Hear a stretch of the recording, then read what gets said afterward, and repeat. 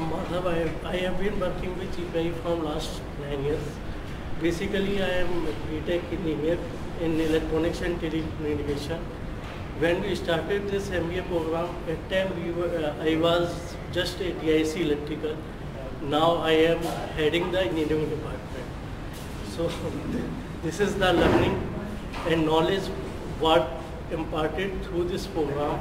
I uh, I can I, I easily apply to our personal and professional both life, and that make us uh, elevate to this position. So I am really thankful for MAI for giving this opportunity that too in our campus